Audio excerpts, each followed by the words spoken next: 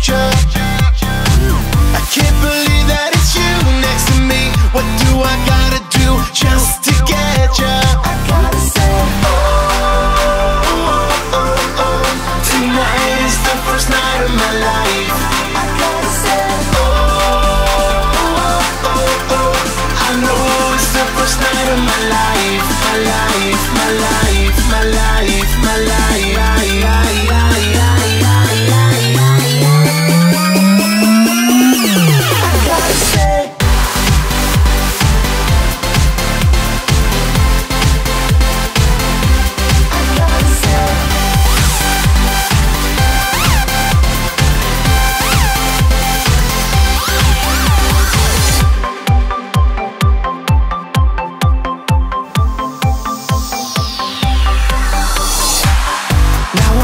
what it's like to be struck by a lightning bolt from the sky.